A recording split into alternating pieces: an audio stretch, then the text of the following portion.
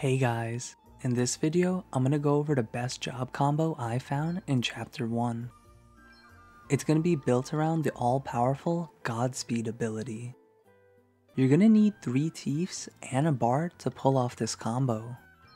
For your Thiefs, they'll need to have their White Mage at level 5 for solar power. We want this passive for the increased aim at daytime. Next, you'll want the Monk to be level 3 for the Bare Knuckle Brawler passive for the massive damage increase.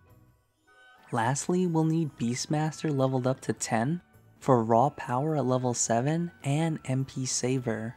Raw power is going to be a damage buff when we attack, and MP Saver will reduce the cost of Godspeed from 95 to 76. For anyone who has a bunch of jobs mastered, you could use the Freelancer as your main job and Thief as your sub job. Freelancer will give you even more stats because of the level 12 specialty, Late Bloomer. I didn't use this in the examples I'm about to showcase, but it is the better combo when you're able to make use of it.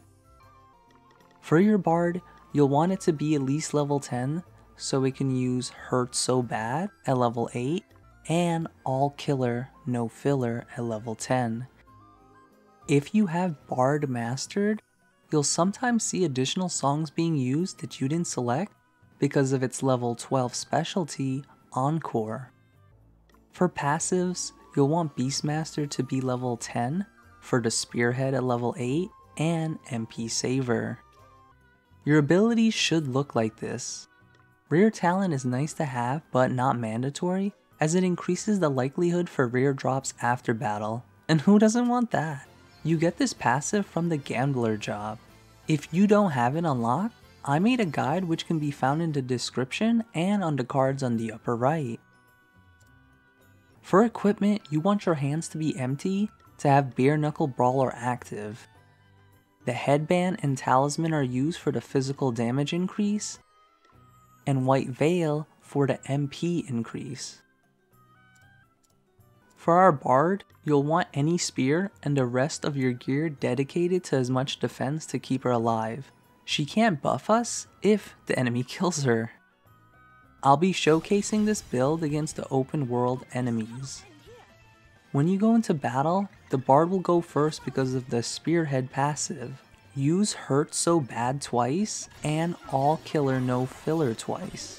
I found these two songs to be the best damage output. Next, you'll want the thieves to do Godspeed times 4 and watch the enemies fall to you. If they don't die to the initial hits, the second part of Godspeed will get them for sure. Godspeed 4 times normally costs 380 MP, but with the MP Saver, it'll only cost 304.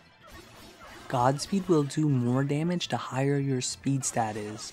You can increase your speed stat with the latest guide I made that lets you farm speed buns. I'll have it in the description and the cards. If fighting multiple enemies at once, make sure to manually target them. If you found value in this video, please leave a like and consider subscribing to see more. Until the next video, I'll see ya.